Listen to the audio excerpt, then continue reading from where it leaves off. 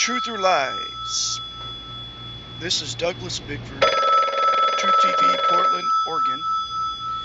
This is my new show. Uh, Truth or Lies.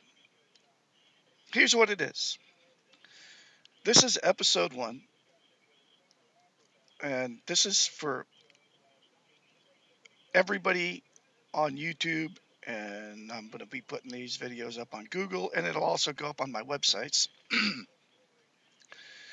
I have 101 websites and I will be posting those websites seven at a time on each episode. Uh, here's the first episode.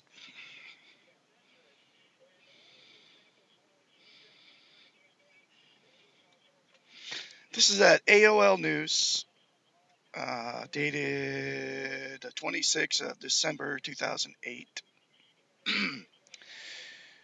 Man in Santa suit kills eight self on Christmas Eve. Covina, California. Stinging from a divorce, a man plotting revenge against his ex wife, dressed up like Santa, went to his former in law's Christmas Eve party and slaughtered at least eight people before killing himself hours later. Bruce Pardo's ex wife and her parents were believed to be among the dead. Investigators plan to return to the scene Friday and sift through the ashes of the home, which Pardo set ablaze using a bizarre homemade device that sprayed flammable liquid. and to that, I'm drinking coffee. Uh, this is my drug of choice.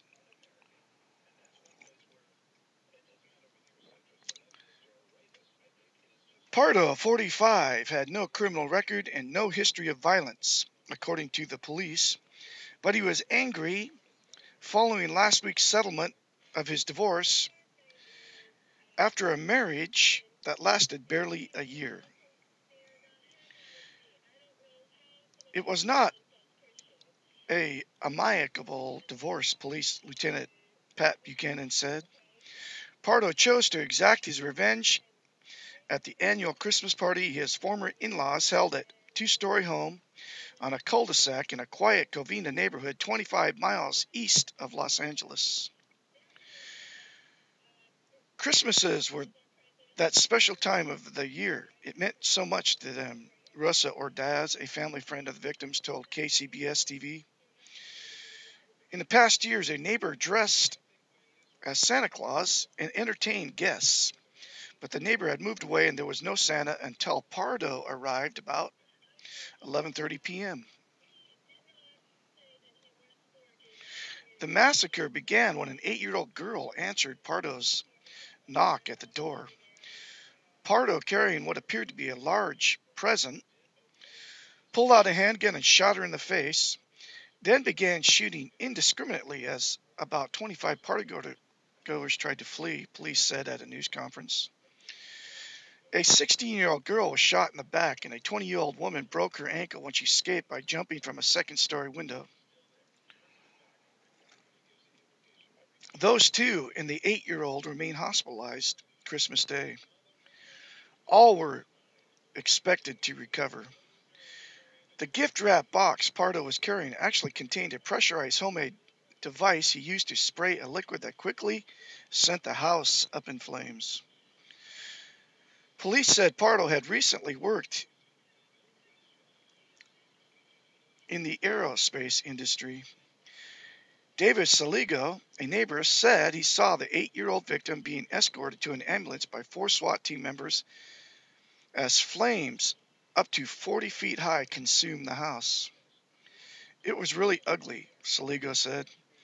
Another neighbor, Jan Gregory, said she saw a teenage boy flee the home screaming.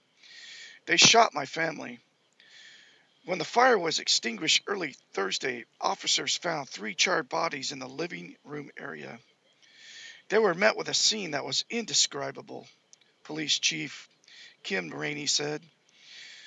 Investigators found five more bodies amid the ashes later in the day and plan to return Friday to continue looking. None of the dead or missing had been identified. Authorities were unable to immediately determine whether the victims were killed by flames or gunfire. Following the shootings, Pardo quickly got out of the Santa suit and drove off, witnesses told police. He went to his brother's home about 25 miles away in Sylmar area of Los Angeles. No one was home, so Pardo let himself in, police said. Police were called to the home early Thursday, and officers found Pardo dead of a single bullet to the head. Two handguns were found at the scene, and two more were discovered in the wreckage of his former in law's house. A car that Pardo apparently parked near the brother's home exploded Thursday evening, and more ammunition was found in it. Los Angeles Police Sergeant Francisco Wheeling said she had no immediate details on what set off the explosion. No one was hurt.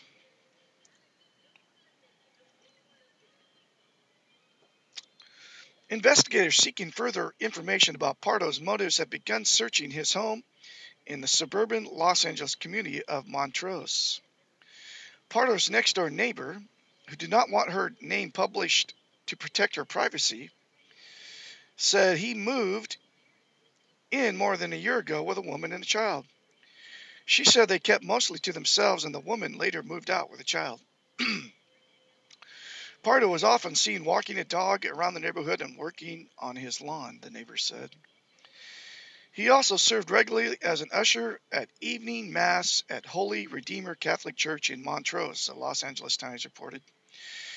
Jan DeTana, the head usher at the church, was stunned when told about the violence. I'm just. This is shocking, DeTana told the Times. He was the nicest guy you could imagine. Always a pleasure to talk to you, always a big smile. Bong Garcia of Pardo's next door neighbors told the Times he saw Pardo between 9 and 10 p.m. Christmas Eve and spoke briefly to him. Pardo told him he was on his way to a Christmas party, Garcia said. All right, there you have it.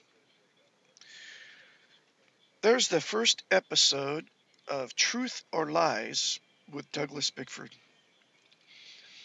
Now, my my condolences to all the family members of this tragedy. That's the first thing I got to say.